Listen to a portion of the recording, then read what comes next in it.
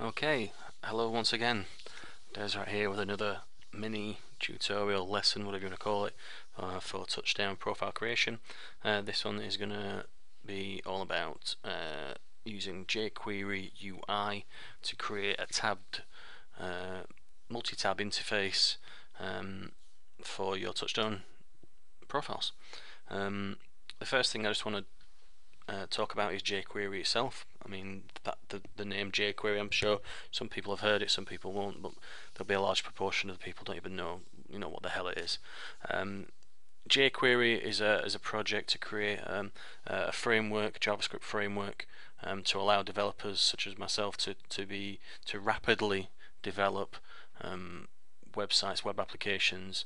Um, they include things like animations and effects and um, interactions with uh, external services using uh, what they call it, um, Ajax technologies, i.e. allow you to load and manipulate data in the background without having the browser sort of stall and hang to the user. So um, we can we can build things where we may want to be loading content from external sources like um, I don't know maybe RSS feeds or um, JSON feeds from things like YouTube and things like that. We can be loading that information in the background, manipulating manipulating that data um, without the user having to you know having to wait for that to happen. They can be interacting with other things while that happens. Um, it's not something you really need to get into with regard to touchdown because I'm going to give you a bit of a grounding in um, the specific functionality we're going to use today, which is the, the, the, the tab system. Um, but if you ever do want to get into it, I think it's one of the most intriguing parts of web development uh, in, in modern day. Um, it allows you to do things like uh, if you use a jQuery mobile um, framework suite, for instance, it allows you to quite easily build um, web applications that to a degree look like native applications for mobile devices, so yeah, um, iOS and Android and things like that. But uh, it's definitely something that if you've got any interest in in, in web design, is uh, should be at the forefront of uh, the thing you should be looking into. Uh, getting into again it's one of those things that become it's becoming more and more popular it's ever updating it's ever changing um, and it's cool to work with so as you can see on the screen getting back to touchdown uh, pretty similar to where we left off last time. I've got the web server preloaded, I've got the web client preloaded, uh, and as you can see, uh, we do have a small tab interface on there. There's no content on it, um, but this is our, our start point, if you will. Um, I've took the liberty of picking out a theme for the tab system. Um, the black and grey that you can see there but you are welcome to ch choose your own uh, and change that to anything you want so um, I'll just bring, quickly bring up the jQuery UI uh, web page.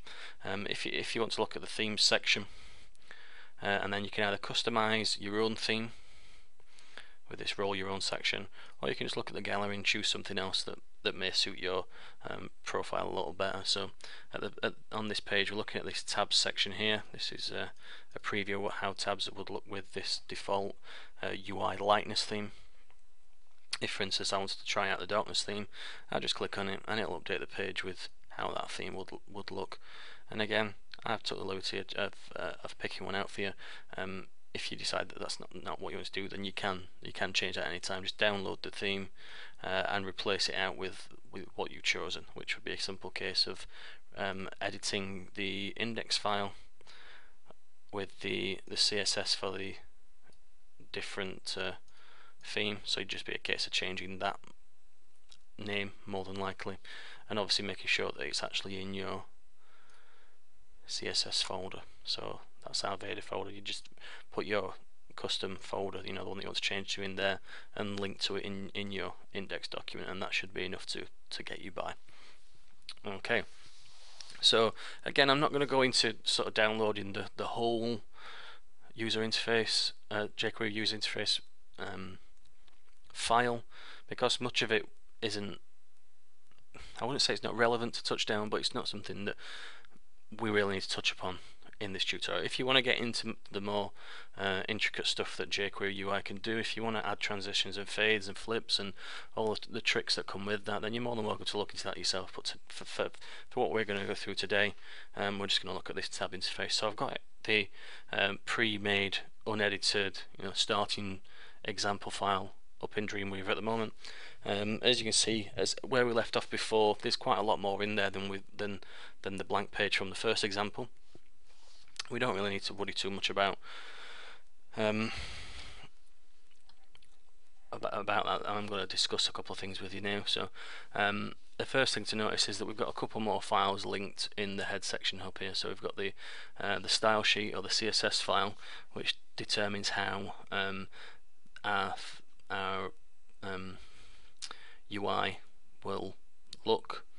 Um, if you want to get into CSS again, it's something you can look into, but we're not we're not going to change it today. We're going to leave it at the at the default. It deals with things like these colours and spacing and um, fonts and things like that. But again, something for you to look at in the future. Um, we've got to load the the main jQuery core functions, otherwise none of this will work and then there's another functions file which is specifically for um, the UI functions in this case the tabs function uh, and then I've obviously linked to our touchdown functions for the macros for the um, macros and um, pausers and then there's a little bit of a script here that needs to be in the page which just tells the the browser that when the page loads that it needs to initialize the tabs function within jQuery UI so from there on out it's pretty similar to what we've done before we're going to add content the same way. Um, we're going to create macros exactly the same way so I'm, I'm not really going to go into that too much. I'm going to actually copy and paste some pre some uh, stuff that I've already pre-done. Uh, but the things you need to get your head around really is the whole everything that you're going to put in is within this section this div id tabs section that is the overarching thing. I mean, you can see here there's a little on the right hand side there's a little bounding box around this content showing you where it's, what it's currently um, covering. Uh, the whole thing starts off with a list, an unordered list, which is what the UL stands for, and then LI is for each individual list item. Um, these are the, the names here tab 1, tab 2, tab 3 and these will be the names of your tabs so you can change these to anything you want. They're an arbitrary name that comes preloaded with jQuery UI, but they are quite descriptive just to tell you that this is tab 1, this is tab 2, this is tab 3. That's all good. So I am actually going to have, because I'm quickly recreating a profile I've already done for uh, Armed Assault, uh, I'm going to call this page, this tab, sorry, Squad. I'm going to call this one um, Movement and I'm call the last one. Radio. Okay and you can see that these are, are wrapped with uh, an A hyperlink and A anchor hyperlink?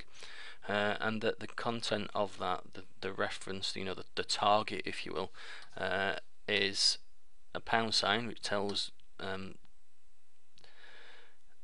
tells the browser that it's it's not a, a reference to something external. It's a more like a command uh, and that it wants to go to tabs dash 1 so if you look down here below the list we've got three separate div sections and they've all got names that correspond with that but without the pound sign. So I'm sure you could pretty much follow along that when you click this link with this name it's going to load the content for this tab. And likewise below this tabs 2 with the movement you click on that tab uh, it's going to tell it that also load the content for tabs 2 so it's going to load whatever content is loaded in this section so what we're going to do is we're going to just put some little comments in here so we can come back to this. Because as you add more and more content it's going to be more and more difficult to find the sections that you want to maybe adjust or mess around with. But uh, I'm just going to put a, co a comment in here so we can come back to this later. So this is a comment for us to read. The browser's not going to interpret this uh, so we can put whatever we want just to remind us. So I'm just going to put page 1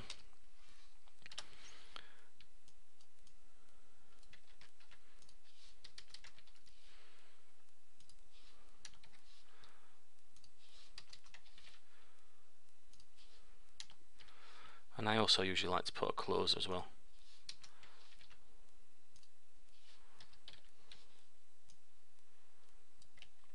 Just to separate my content up so makes it easy for me to follow along there. Because I mean I may come back back to some of this content months or even years after I built it and it's hard to at times remember what your thought process was at the time.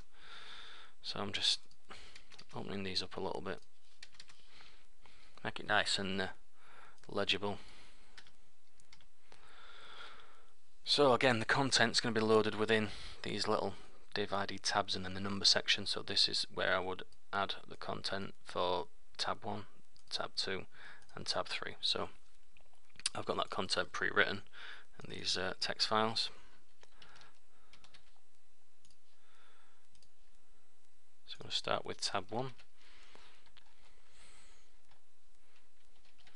Let's format that code so it's a little easier to follow along with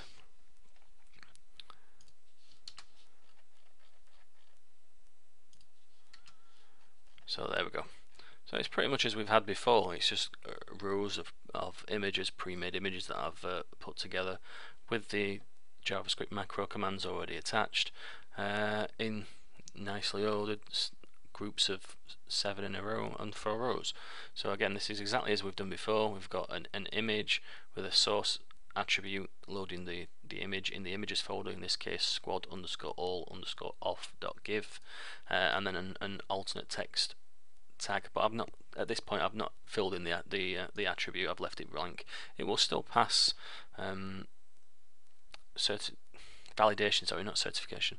Um, so it is valid markup, but um, I've left them blank for the time being just for, for time considerations. Generally, best practice as a web developer is to make sure that those are populated. Um, but again, just for time purposes, I've left them blank in this instance. Um, so yeah, that's the first tab section complete. We've got the buttons there, the other functions are there, um, and we just want to click on live view and you'll see that uh, you know it's all within the, the tab. If I click on another tab, they're obviously currently blank. Go back to it, images are there again. That's exactly what we want.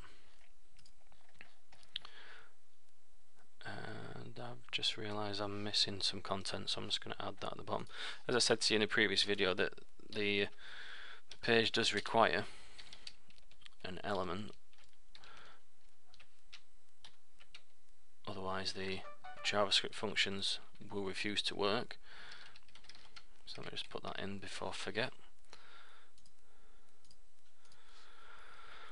So that should be good, that should work fine. Uh, but obviously we need to add the content for the other two sections, so I'm just going to briefly do that. So page 2, so we're just looking at putting that in there between the opening and closing div statement and section 3.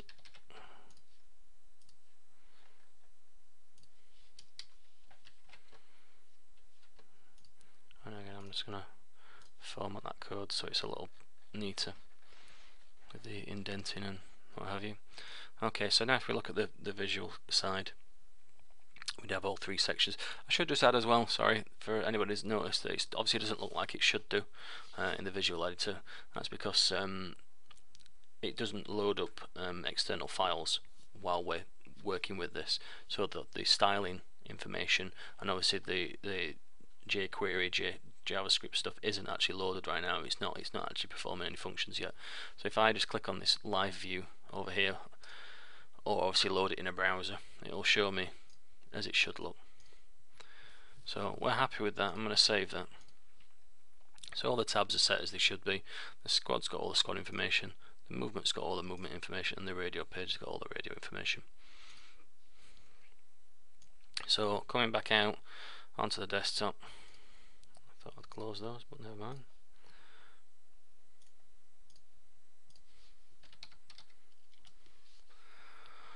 So I'm just going to briefly refresh load up all my new information. So now in my web client I've got the, the profile as it stands loaded. Um, I've got the tabs all working fine, they all work perfectly fine there. Let's just double check the functionality. Hopefully I haven't broke anything. Okay, so as you can see, that button's worked. We'll use these ones down here. Click on movement. So there we have it. A multi-tab touchdown interface. Nice and easy to use. All working as it should be. Um, hopefully that's enough to allow you to create um, these slightly more intricate profiles. Um, the tab system is, is much like um, you've seen if you've ever used programs like TouchBuddy and things like that. It just allows just allows to have more content in the same space, and because we're using it this way, um, there's no incurred latencies. You can see there, I'm I'm clicking on these pages, and even though it's obviously on the same machine, there's you know, there's, there's, there's, not, there's not any latency involved in images having to be you know waiting for images to load and, and things like that. And that's the beauty of having things loaded all on the, the initial page load. It's all it's loaded in one not having to click on when we click on a tab and then load additional content wait for that content to be pulled into the page um, because obviously in the heat of, of of your game session you don't want to have to be waiting for the interface to catch up with what you want to do. But yeah hopefully that's enough to get the ball rolling for people. Um, there's not much more I can say so enjoy having a fiddle with jQuery UI and uh, I'll catch you next time